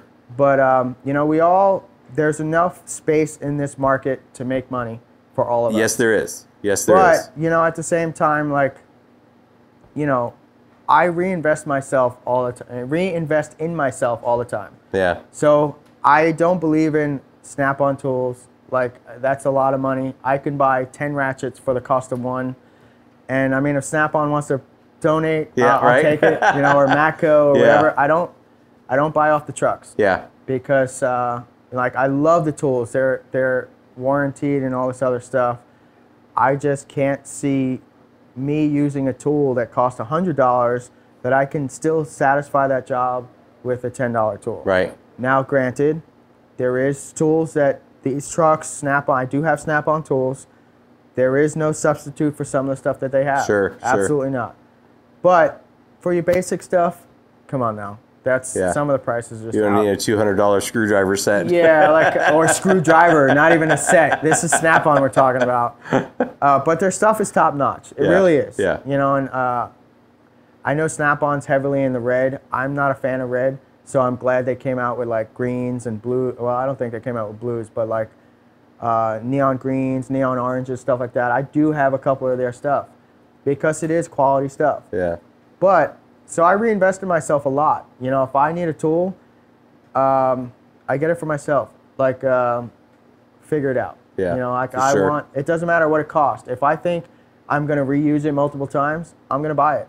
Like, and here's my rule of thumb, and it should be a rule of thumb for anybody who buys their own tools. If someone borrows a tool from you, if they borrow it once, that's one thing. But if you borrow it twice, you need to buy your own. And that's what I live by. So if I've ever borrowed tools from somebody and I've had to borrow it more than once, I'm going to get That's my That's a own. good rule. That, that's a gonna get my own. fantastic rule. Because yeah. if I have to borrow it more than once, Yeah, that means then I you need, need it. it. You need it. exactly Yeah, right. I- absolutely. that means I need it. And like, you know, I have uh, I have tools now because I was working at the dealership.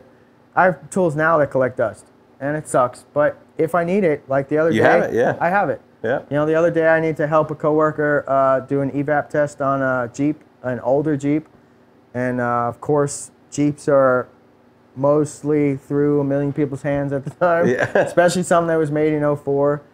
But um, yeah, I had a smoker machine, a Snap-on smoker machine, just so happens. We're talking about it. Yeah.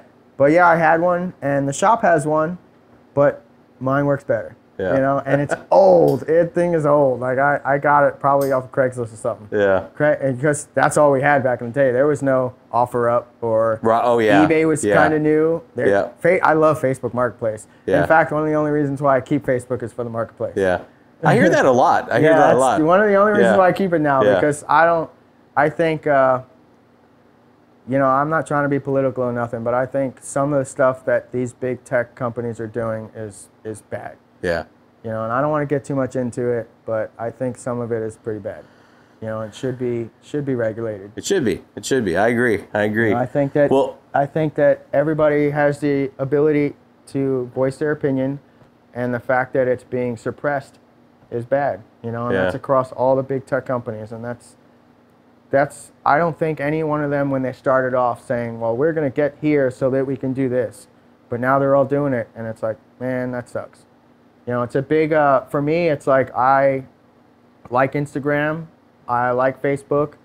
I don't use Twitter. I used to, um, but I'd like to use them. You know, I'm on my phone all the time. Right. You know, I get my news from Facebook. Yeah. Uh, who does, you know, nowadays, like I don't, I don't watch the news because, you know, it, I, I'm, I, I work too much. You Yeah. know, quite honestly. Yeah. But um, well, I Yeah, appreciate just- you coming out and making time for us, man, because I know you're busy. Yeah, I mean, I've never done this before, so I've I've been saying this. Like I've been saying, the thing about me is I got a lot to say. You know, back in the day or when I was younger, I wouldn't talk to people. Like I was head down, focused, Yeah. and I still am. I'm head down focused, but now I'm transitioning to the point where I'm more open because it has got me in the la- and this is I you know I'm 38 years old. This is a, my hairstyle is is new. It's fairly new. It's two years old. Yeah. Um, other than that, I've always shaved my head because growing up, you were just given a buzzer. There was no barbershops. Right. Right. Uh, no one was going to pay for that. So it was here's a buzzer. You want to cut your hair? Uh, you got 15 minutes. Go get it. Go go do it. And uh, clean up that buzzer when you're done and hand it back. You know, next person's ready to go. Um, Crazy. yeah, it is crazy. But um, yeah, now I'm like, man, I got a lot to say.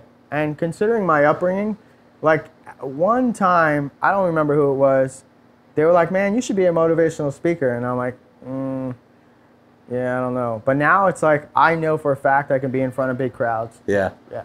Like Isn't it you- amazing how that changes? It, it is. Yeah. Like it's like, wait a second. You go from someone super quiet to someone who can talk in front of all these big crowds. Like I could, and it wasn't TV that did it. It was just me.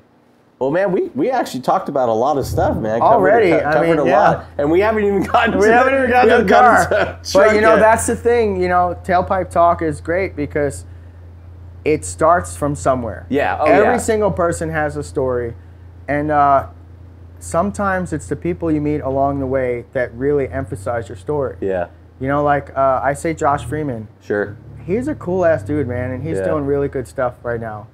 Um, and uh, you know, on the TV show, especially shifting gears. So one of the bad things about shifting gears was that it was new to all of us except Aaron. So us four cast members plus Aaron. Well, Jeremy was a cast monkey, uh, cast monkey, gas monkey garage person Right, as well. right. Before I I don't know if he got let go or what. I, Yeah. I, I, I'm, I'm not going to throw him on blast, but. Um, he uh he I used to talk to him a little bit, but Josh Freeman and I we talked a lot, Yeah, you know, and honestly, he's the only person I still talk to. gotcha. And even gotcha. that's far and few between. You Yeah. know, we've you know, we have our differences, but uh with the first show, it was like everybody's trying to get into their own and I'm very passive. So I'm very like eh, like I don't want to step on your toes kind of deal. right. So on the first TV show, like I would always do stuff around the shop. Like at Shifting Gears at Aaron Kaufman's shop, I did water lines. I maintained all the machines because these guys are doing metal fabrication, and Right. it's not my forte. Sure. Uh, and at the same time, some of these guys are learning metal fabrication to the extent of what the job was. Right. Right. You know, like Josh is great, great welder. Um, Jeremy is a good metal fabric guy too. Um, good welder as well. yeah. And um, you know, these guys were that's what they were there for. So I'm not going to sit there and try to jump into their mix. Sure. Sure. You know, but it it uh on TV it's like you know, you got to kind of be an outcast or, you know, on reality TV I would Sure. say I agree. I agree. if you're not it's not scripted neither show is scripted Yeah. so you got to be that guy who draws the camera in Right. because in my job with the electrical stuff no one wants no one wants to see that stuff in fact it barely made it on tv even though it was 100% required yeah. um, like uh, transitioning from shifting gears to the i had roughly 30 days off between them and uh, josh freeman was actually the one who got me into gas monkey Yeah. because they had they had let go of their wiring guy for whatever reason, um, and uh, they needed a guy, and um, there was a situation. It was wasn't even TV related, and they needed to fix something that their the shop had redone at one point. Mhm.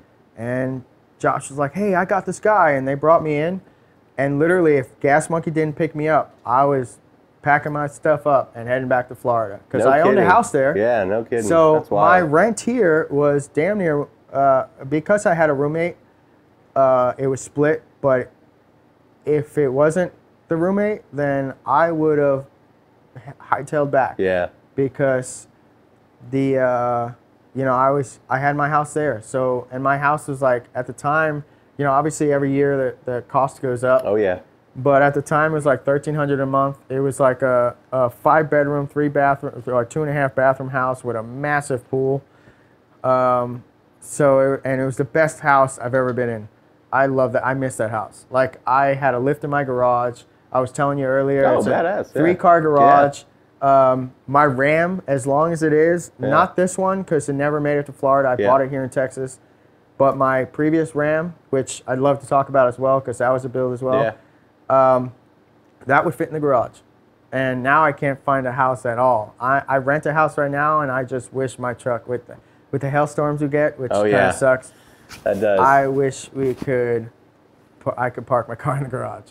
But when it, if it gets bad, at least the majority of it will be. Yeah, that's true. That's true. So- Well, we keep touching base on the truck, but we haven't started talking about the no, truck. No, we haven't. So, So, this is this is a 2021. yes, 2021 T-Rex Yeah. or TRX. Yeah. Um, you know, a The lot of nickname people. is T Rex. yeah, though, isn't and it? it's because of the uh, you know that's the premise. You know, Yeah. they went after the Ford Raptor. yeah. and uh, they uh, they got some Easter eggs inside the car. You know, Yeah. uh, inside the center console, there's an engraving where a T-Rex is uh, chasing uh, a um, A raptor, Yeah. and then underneath the hood, when you pop one of the covers off, you have the T-Rex eating the raptor. Yeah, which is cool. Which I mean, Which in real really cool. reality, uh, you know, power plants, there's Yeah. no there's no replacement for displacement. Yeah. You know, so the uh, V6 twin turbo car that's uh, I think it's 3.5 EcoBoost motor that's in the Raptor. Yeah. Great. Uh, I wouldn't say it's a great motor, but because I've owned one, and I can tell stories about Yeah. it. But uh, I, I didn't own it in a Raptor. I owned it in a Ford Explorer. But same, I, I believe I don't know a lot about Ford, so Yeah. I believe basically About the, the, same premise platform. Yeah. premise between the car and the Explorer. Yeah. But I mean, I only had that car for three years, and that thing started burning oil like nobody's business. Yeah. It had like maybe at the time we turned it back in like 19,000 miles. So 19,000 miles, it essentially started eating itself. Um, so yeah, and yeah, I don't know. I, mean, Yeah. I don't know much about it. I didn't do any modifications to it at all. It it had a tune at one point, but it was like it didn't like it, so we just put it back stock. And um, yeah, so so yeah, the T Rex, it's it's actually a pretty badass truck. And you know, I, I was talking about the transition of why I have this truck, and I'll touch base on it real quick. Yeah. So I got my first Dodge Ram back in 2019. I've always been a majority Mopar guy, um, besides the two Cadillacs I had. Um, I got my first 19 Ram as a new body style. So the DT is the engine code or the body chassis code, whereas you have the uh, DS, which is the old one, uh, which they still make a 19 and maybe even a 20 Classic, which is the old body style. small- Gotcha. smaller back door, way less room. Yeah. So one of the things that really, I'm a technology guy, and I've said this to everybody I meet. You know, I love technology.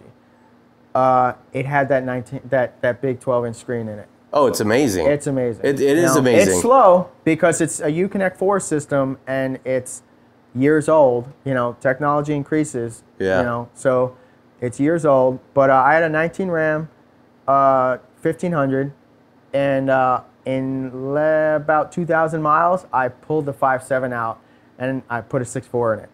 Now, why Mopar doesn't do a 6.4 in the 1500s, I don't know yeah. because uh, the 6.4 is roughly 100 horsepower, 100 foot pounds torque more in the same package. Right. Right. So my Ram 1500, and I, I, I think I'm one of the first to do it. Somebody might have been the first, or we were doing it at the same time.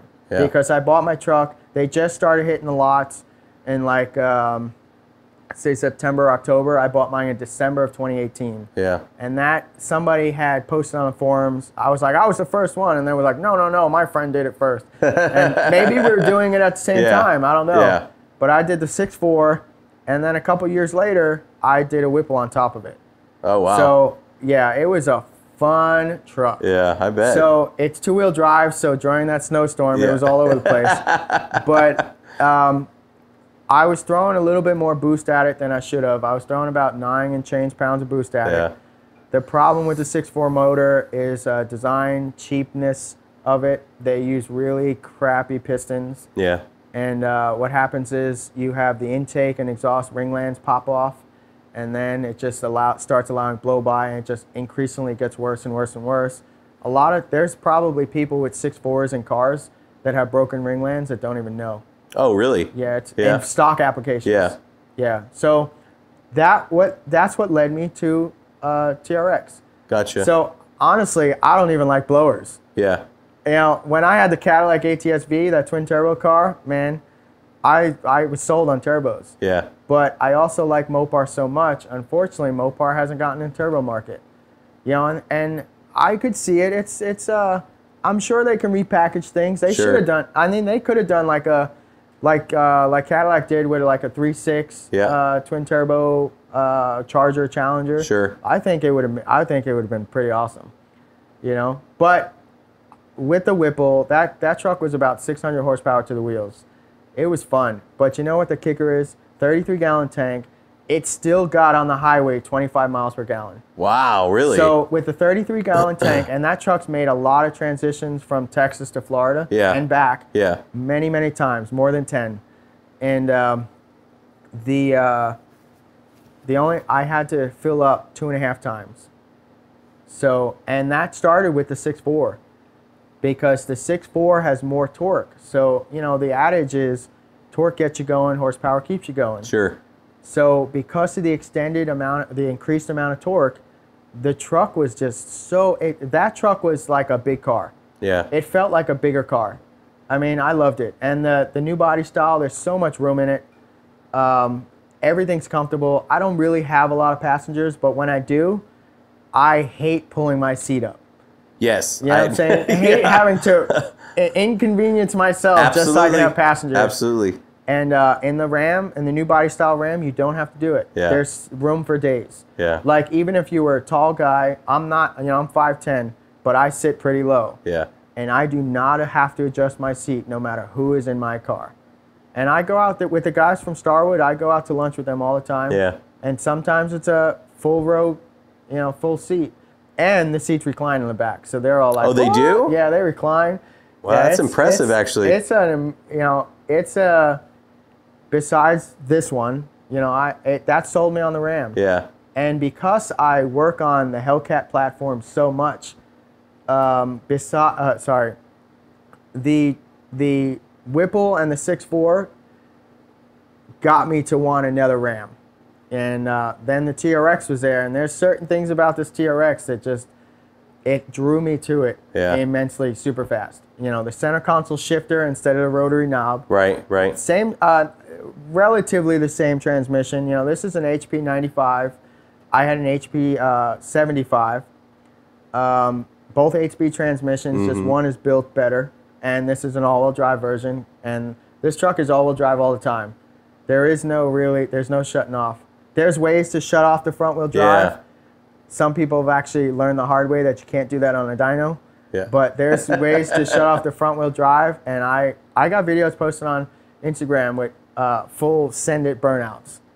You know, Oh, no back with kidding. the, yeah, with the factory tires. Yeah. You know, um, and that's not with removing drive shafts or anything like that. So yeah, this truck is really fun. But That's having cool. that first truck Yeah. was what made me want to get another Ram, and the the fact that I work on the platform so much Yeah. is what put me into it. Now, Here oh, comes here the it bad comes. news. Here Yeah. comes. so I don't know what the cause of it is yet. We're investigating it. Um, but this time last week, the car was in pieces. So this TRX Really? was in pieces because I did a, a bunch of basic bolt-ons, Yeah. and uh, most Hellcats will get a pulley, some injectors, and some spark plugs, and that's like our stage one Sure. package. The cars do not suffer from this problem, Yeah. but Trackhawks, it's the all-wheel drive stuff. Trackhawks, uh, probably the Durango, the new Hellcat Durango, and now, like I said, I just recently learned that the TRX. So there's an issue where one cylinder specifically goes so lean that the aluminum pistons melt.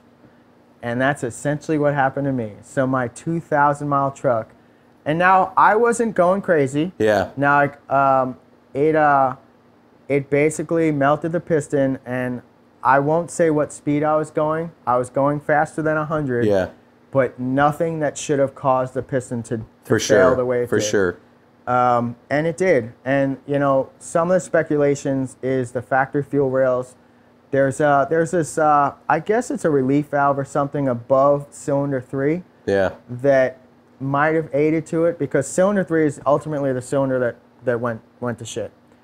And uh, I melted the piston, and I've got pictures to prove it. That's wild, So man. this time last week, it, it actually, so today's Tuesday.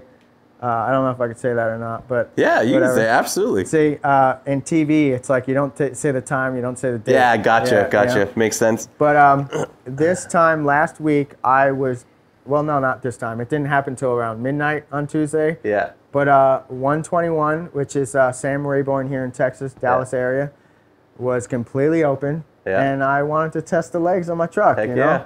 And it's uh, had some bolt-ons, uh, basic, but I, I, I can't stress this enough. A lot of basic bolt-ons. yeah. But it had some bolt-ons on it, and uh, number three didn't last. And so uh, first I had to do the whole diag of what took place, Right. compression checks, things like that. Uh, the the spark plugs were non-existent, Yeah. so the straps were completely burnt off. Uh, we're investigating it. So the only thing I don't do is tune. It's the only thing in the entire process that I don't do. So I, I have a tuner. Uh, I trust them. Yeah. You know, um, but you know, I it's a. We believe it's a combination of fuel rail problems. You know, Interesting. because it was obviously a fuel starving issue. right. And the thing is that it happened so fast. Like I heard it, I didn't. I heard it pulling timing. Yeah. Like you hear it start knocking, and if you're trained, you let go. Unfortunately, it was too late. Yeah. Too late for me. So right now the truck is stock, and the reason the truck is stock is because I'm actually getting another one. And so I, in the last couple of days, and I just finished Saturday, I had the uh, in these vehicles you have to pull the back, you have to pull the whole cab off, just like Fords and diesels Really? and stuff like that. Really? In order to properly work on that motor, Yeah. you can pull the whole front end off, Right. but that's just dumb. Yeah. So you pull the cab off, and I got pictures for. I mean, it's first time I've ever. first time I've done a, a cab off Yeah. on a Ram at the dealership, but not on a TRX. It Yeah. didn't exist when I was working at the dealership, and um, it was actually not that hard. I mean, I've been around these things, and uh, I'm gonna tell you something that's really weird. And the uh, I have a skill, and that's the best thing I could say it is. So I work on these cars, and I take all the bolts, and I don't segregate the bolts. They all get thrown in one box. And then people, minds blown, they're like, "How do you remember what exactly what bolt goes in exactly what location?" I couldn't tell you. It's it's like a photographic memory for just that. Like I Yeah. ain't got, I don't have one for anything else, Yeah. but photographic memory for just that.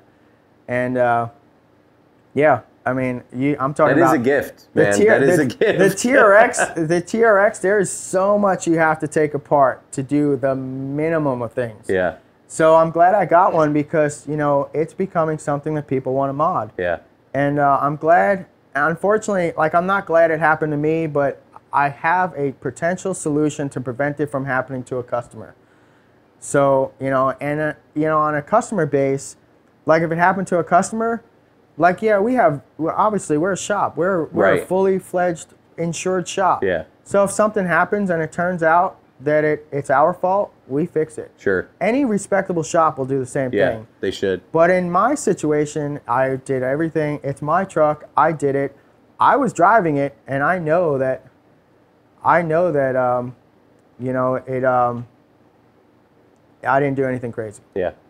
So Now did now did Ram get involved and no. warranty it, So or what like the how reason? did that work? No, I did it myself, and I actually. Uh, I uh, was able to obtain a piston, and uh, the rod was fine. Uh, the cylinder wall was fine. Uh, it had some transfer from the gasket, which also melted. Yeah. Which the gasket doesn't cover the hole, but it, it, it kind of melted inward. Gotcha. So I had to uh, I had to do a quick hone on the cylinder, and uh, replace the replace the piston.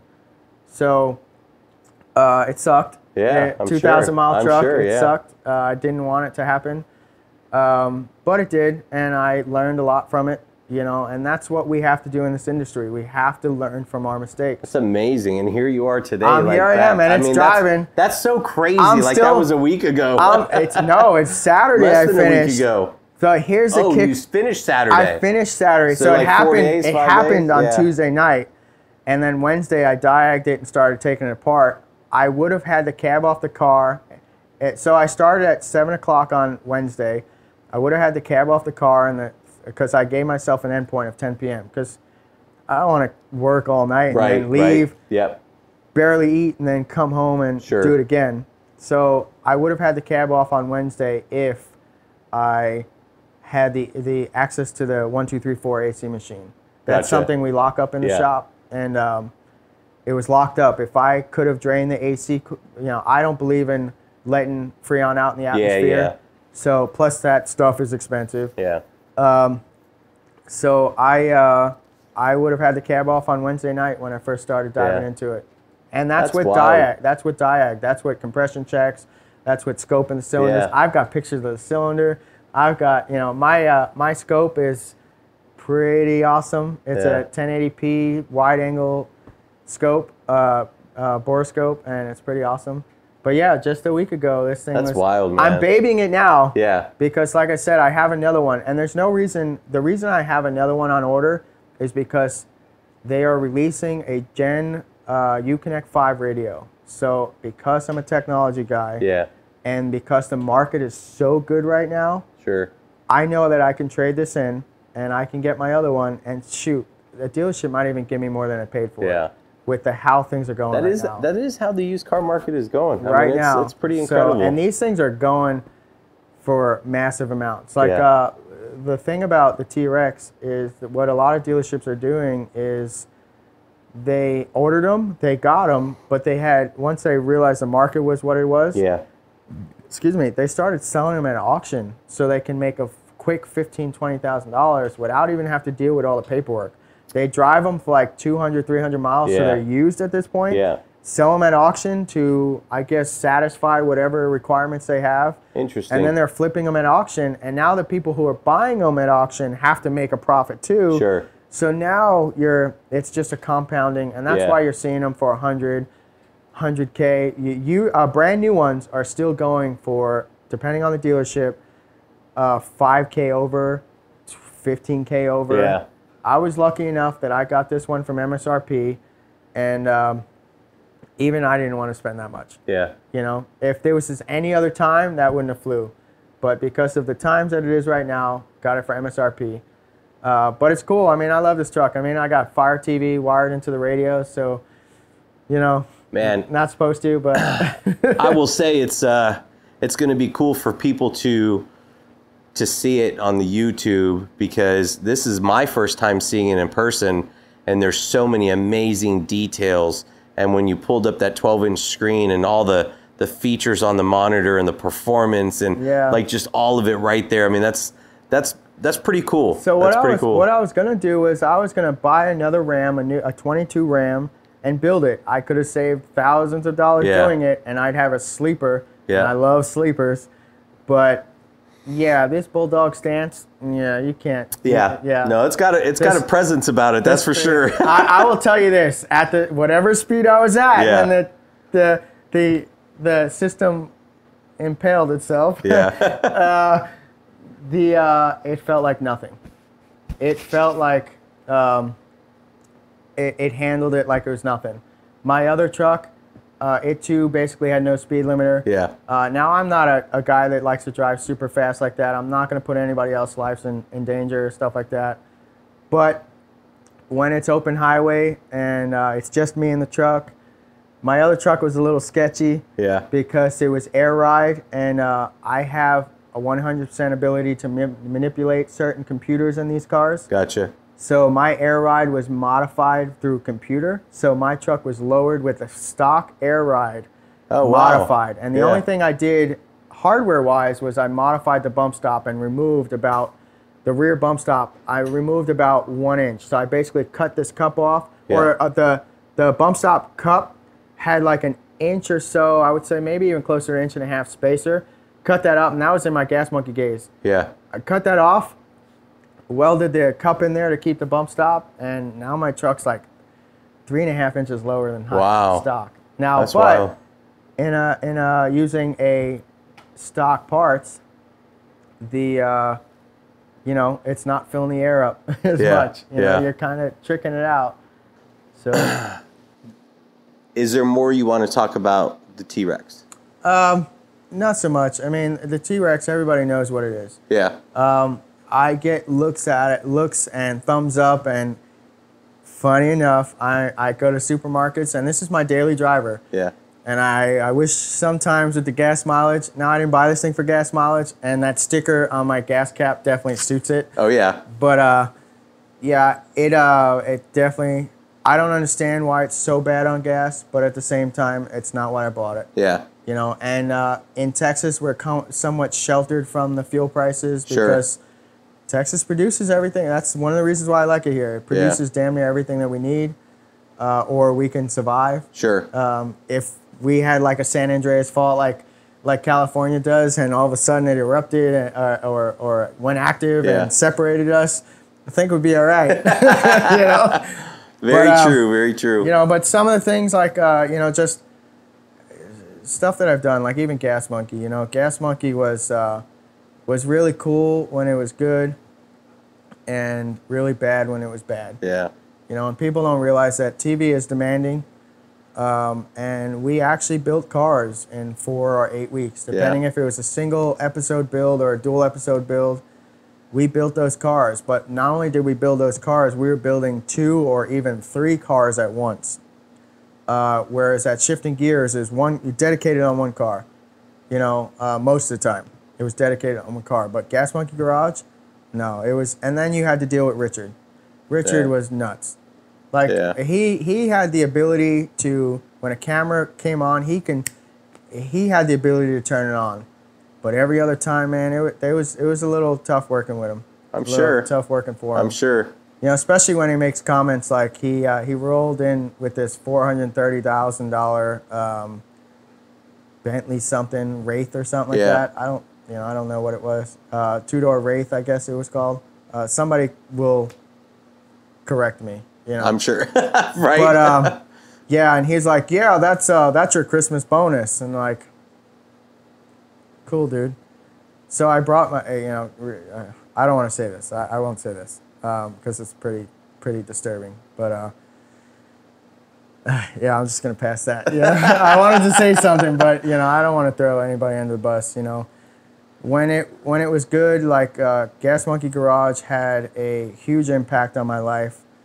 It um, it was great working with all the cast members. Uh, you know, there was trial times there, um, just like anywhere any other TV show. But the uh, the film crew is amazing. You know, Pil- Pilgrim Media Group. You know, a couple of those guys. My sound guy Johnny, producer James. yeah. Uh, some of these guys are fucking. re- Excuse me, really good at what they do. Yeah.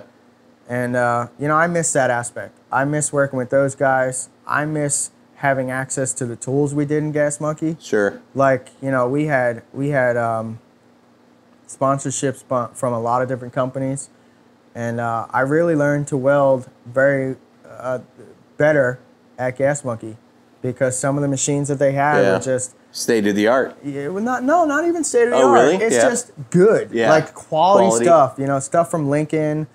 Um, you know, some of the stuff it was massive. Like the TIG welders were massive. Like, yeah, those things probably weighed 500 pounds. Yeah. But man, if you uh, if you really concentrate on it, you can do it. And see, like with welding, one of the reasons why it was always hard for me is because when I was a kid, I screwed up one of my eyes. So you know, with welding, you got to follow that puddle Right. uh, you gotta you gotta flow that puddle in the direction you want to. And like for me, my right eye is is severely impacted. So like when I'm welding, MIG welding, you know, shooting a gun, that's easy. But TIG welding is where it really is. Yeah. It's like you got I gotta like bend down and and follow that puddle. Yeah. And uh, sometimes it's not so easy, especially in what what made it real easy at Gas Monkey was the lighting. You know, that place was uh, air conditioned. Yeah. Texas heat Oh yeah. didn't matter. Yeah. Um, and uh, it was air conditioned and everything. And, uh, you know, I miss that aspect. I hope there's more TV opportunities in the future. Yeah. Like I said, I, I hope, uh, you know, I, I, I grew up watching Monster Garage. I would love to. yeah. I did too. be on- I, did would- too. Yeah, and Love American. Chopper and stuff. Love that and- show. Yeah, I All, love both of them, you know. I would and that wasn't about the drama so much, but I mean the yeah, yeah, for creativity, sure. the creativity. Yeah. Paul Jr. was, Yeah, was oh, pretty yeah, badass. you know, absolutely. his mind works Absolutely. in different ways. And, um, you know, like uh, we're in Texas and uh, Jesse James is here in Texas. Yeah. And uh, I'd love to to get a, you know, one of the builds on, you know. That'd be awesome, man. You'll get it. I, I hope it. so. You'll yeah, I it. hope so. I mean, I have a lot to offer, something like that. And uh, the best thing about me is I have no box. So when you people say, "Oh, think out of the box," yeah, I don't have a box. Yeah. Like the way my brain works is I'm looking at situations from all different angles before I even approach it. Yeah. And that's the same way I am with troubleshooting, and that's why I'm pretty damn good at what I do. Yeah. You know, Your and, gift. uh, You're a gift, man. yeah, it's That's it's pretty it's fun what I do, and, and meeting people like like Rob. You know, yeah. Oh yeah. uh, Rob from Tinstar. You know, I've sent him a couple customers. Sure. You've sent him a couple customers. Uh, he showed up at Gas Monkey Garage and presented himself. Yeah. And Absolutely. he's, he he was cool as shit, and uh, you know, and he tinted the TRX, and he tinted my ex-wife's car, yeah. and uh, he's tinted a bunch of other people's cars. Yeah. Rob's good him. people, man. He's real good people, Yeah. and uh, you know, he uh, his shop is pretty badass. You know, air conditioned shop, and I did another. I did a, I did a little IG video with him as well. You know, Yeah. and uh, at the end, I'm pretty sure he was like, "Damn, bro, you just turned it on, and I didn't even expect that from you." And uh, you know, when you're in TV, the the thing about TV and what happened with me was.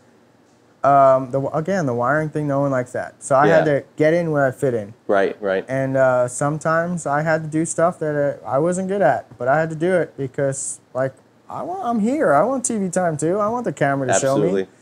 And uh, you know, some of the cool things I did it, like the International Scout we built with a Hellcat motor in it. That Yeah. was one of my favorite builds. Yeah. That was cool. That, was thing- cool. And you know, That was an awesome the build. fun part, the funny part about it is that they didn't show any of the any of the problems.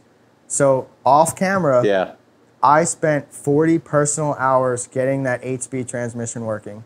And some of the things I had to do to get it to work Yeah.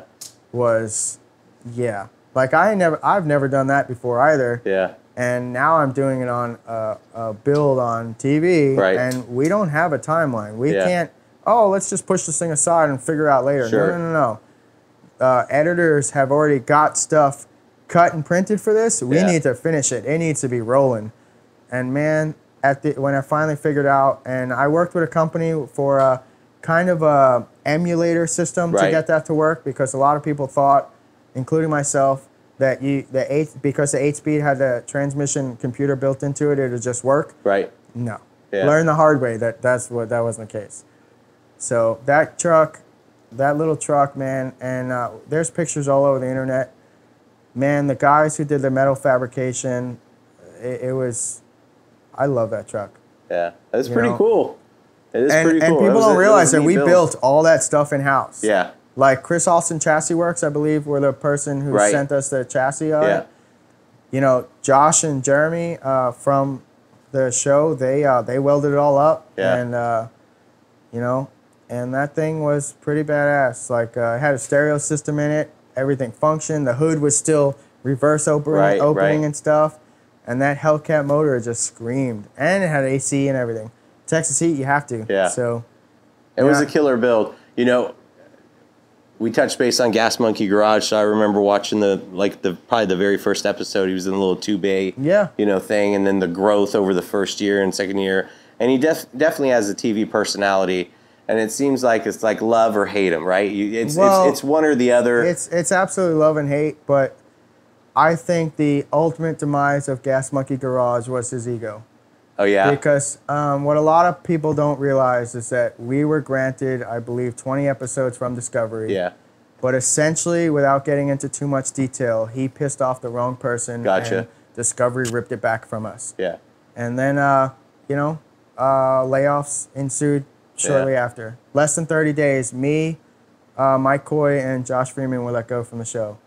And then I would say it wasn't until the recent podcast uh, with Joe Rogan that Richard finally admitted that uh, the show is no longer a thing. yeah, And I think uh, for the fans' sake, that was a pretty crappy thing to do on his part yeah, you know. But nonetheless, I hope TV happens again. Uh, I think uh, now that I'm off TV, I've learned a lot, and I've learned how to present myself in front of a camera a lot easier. I mean, we've been talking for X amount of hours, and it's- then even before the camera started. yeah, and, and uh, you know, um, it's so easy. Like yesterday, it's pretty funny. Uh, I'm working on a, a car for a YouTuber, Real Nova Seven Nine Seven, and like I discussed earlier, and I did a video with her yesterday. Yeah. and it's just for some reason it just becomes a natural thing for me. That's awesome. And or with Rob, yeah, hey, how the hell did you just turn that on? Like, you look like you're a quiet dude. I'm like, I don't know, bro. Like, I, I it's, it's just off the cuff, and uh, it's it just it just flows now, and that's why I think like I think I would be great on another episode or another TV show. Yeah. You know, because now I've be- learned you'll I've learned there. a, I've learned a bunch of things. Yeah. You know, being on TV, then being off TV, and now thinking back of what I could have done better, and uh, yeah, I truly think that I could uh, be a valuable member to a lot of different shows. Absolutely. And I've done commercials too. Yeah. And then I was talking about Compton earlier. I actually did a pilot show with another Hemi thing Oh yeah. for Hoonigan out in Compton, California. And that was it was like a, a Hemi and a Rolls Royce, like big old 4,500 pound drifter Yeah. Rolls Royce. Yeah. And uh, I don't. It was with uh, uh, uh, Scotto. Uh, I forget his first name. Uh, I think that's his last name. The main guy of Hoonigan. Gotcha. Um, and then it was somebody I I'm terrible with names. Yeah. Brian Scotto. That's that's who it is. He's the he's the main producer of all the uh, Hoonigan and uh, uh, I guess it's Gymkhana. What what is the what is the Ken Block cars? Gymkhana. Yeah, Gymkhana. Jim yeah, Kana yeah. stuff Yeah. that he's done, and then the one with Travis Pastra- Pastrana and stuff like that. Uh, he's the main producer of all of it, and uh, the shop was pretty awesome. Yeah. And never been to California. Yeah. And Compton, California is pretty trippy because, like, you go to the airport, and first of all, you hear all negative things about Compton, right? Yeah. And I'm sure it's getting better now.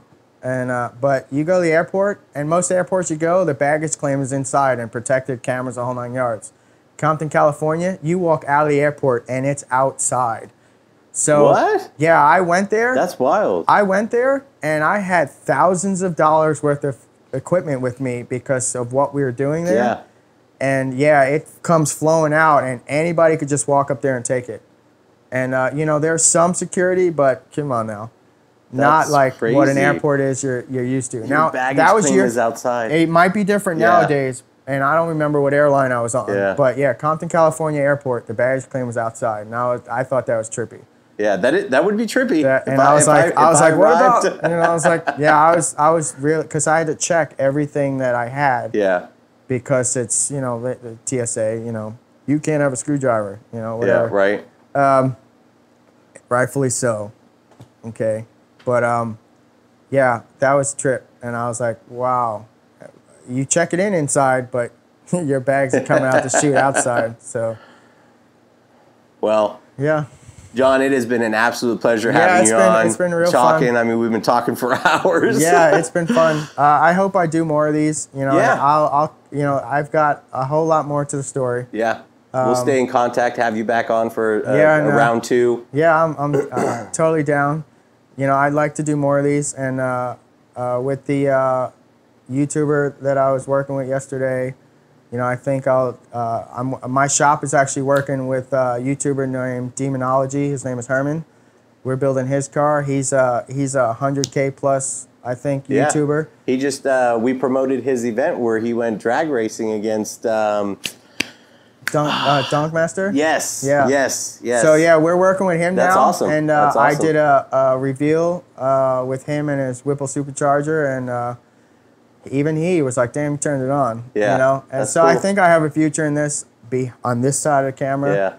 I love the technology and the audio and stuff on that side of the camera, but I would, I, reality TV, I think, uh, or even big screen. You know, I don't know. I, I There can you go. I can learn how to act. You know,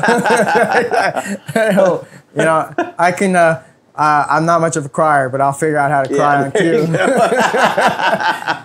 but yeah, I appreciate you uh, inviting me here. Yeah, I'm glad you man. uh, glad you know. In Rob's post, I was like, yeah, I want to do that, and you're like, let's go. Yeah. And I mean, absolutely. a couple weeks later, you've been pretty booked, which is awesome Yeah. for you. Yeah. And uh, man, this has been awesome. You know, Yeah, I love been talking, been a especially talking about cars.